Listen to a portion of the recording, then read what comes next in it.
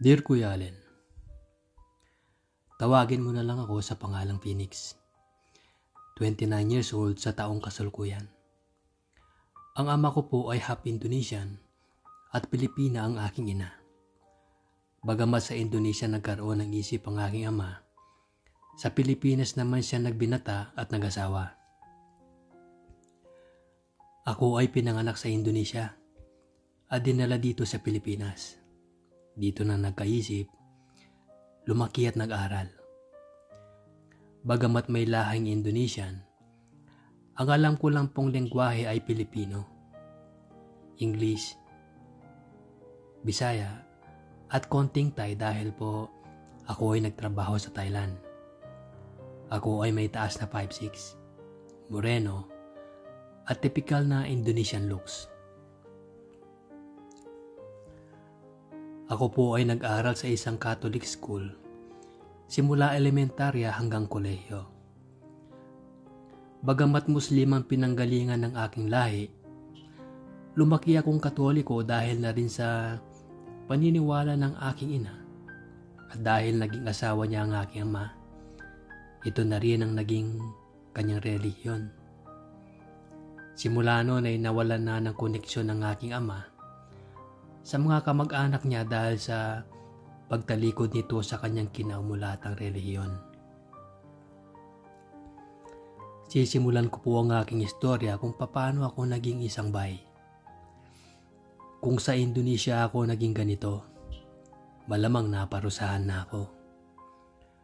Nagsimula ang lahat ng ito nang ako ay labing walong taon. Kuya Allen, Simula nang nagkaisip ako ay puro mas matatanda ang nagiging barkada ko. Halos nasa edad 20 hanggang 30. Ako ang kanilang bunso at inuutusan. Dahil nga ako ay bata pa. Pero ako ay may isip na mature na. Dahil nga sa aking mga kaibigan na mas matatanda sa akin. Pakiramdam ko kasi, kapag kaedad ko ang mga kasama ko, boring yun at wala akong gana. Puro laro lang.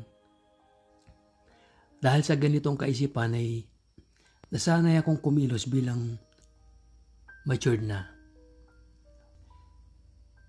Bata pa ako pero nakakagusto na ako sa mga babae na mas maedad kesa sa akin. Dahil may kataasan ako at malaki ang bulas. Subalit isang pangyayari ang nagbago sa aking pagkatao ko, Allen. Tatlong buwan bago ang aking pagtatapos sa aking eskwelahan, nagkaroon kami ng school competition.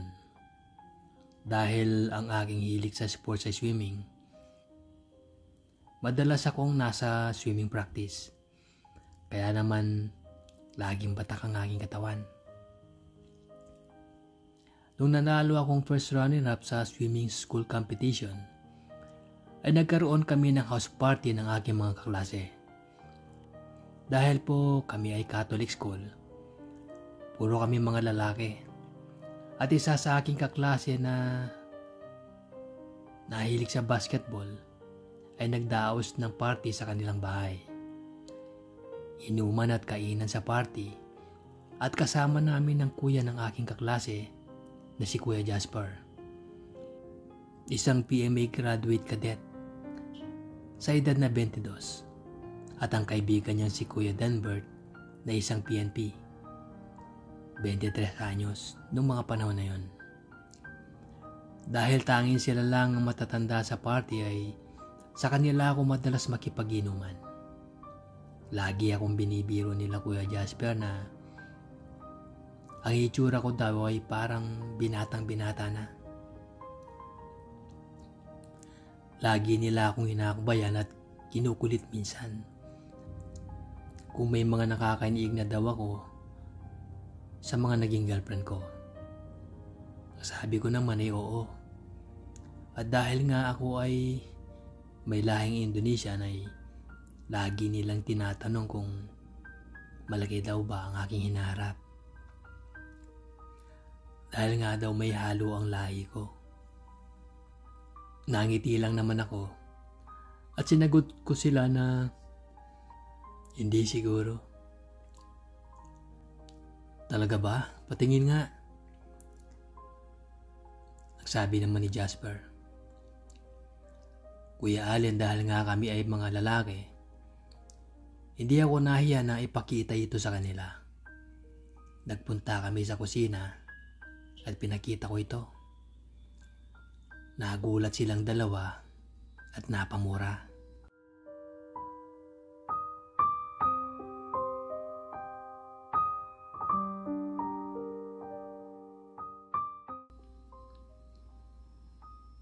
Dahil doon Kuya Allen ay nagpunta kami sa likod ng bahay. Doon ay naganap ang init na hindi ko inaakala na magagawa ko.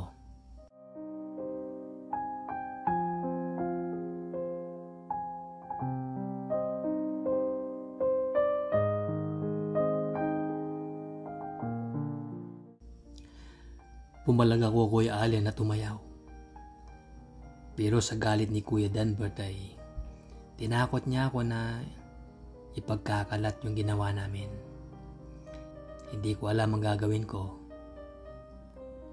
At dahil na rin hindi ko malaman saan nanggagaling yung sarap na naramdaman ko na yon, sumunod ako sa kanila. Hanggang tuluyan na nga na may nangyari sa amin tatlo.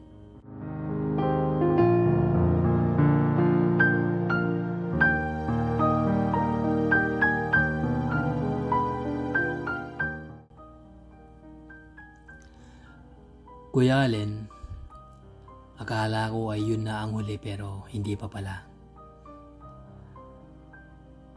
Mga 2 a.m. habang lasing na ang mga kasama ko at kaklase ko, nagiinom pa rin kami nila Kuya Jasper. Si Denbert at si Mark na kaklase ko. Apat na lang kami.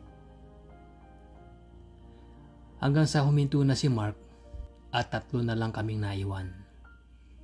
Nagpaalam ako na matutulog na sa kwarto dahil hindi ko na kaya. Sumama sa akin si Jasper at sinabi na sa kwarto niya daw ako matulog. Ang akala ko ay tulog lang pero hindi pala.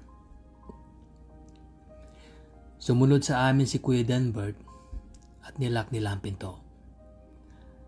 Tinulak nila ako sa kama. Nagpupumiglas ako pero ang lakas nila. Hindi ko sila kinaya. Sinuntok ako ni Kuya Jasper sa sikmura at napalood ako. Doon ay nanghina na ako at hindi na nakalaban pa Kuya Allen. Naging mapusok si Kuya Jasper. Kuya Allen, nagpupumiglas ako at sumisigaw. Tinali ni Kuya Denbert ang aking bibig para hindi na ako makasigaw. Ang sakit, Kuya Allen. Para ako nahahati at iyak ako ng iyak. Wala silang sawang nagpalitan sa akin. Halos himatayin na ako sa sakit hanggang nanghina na ako at wala na talagang lakas para lumaban pa. Inayaan ko na lang sila sa ginagawa nila. Nakapikit na lang ako habang umiiyak.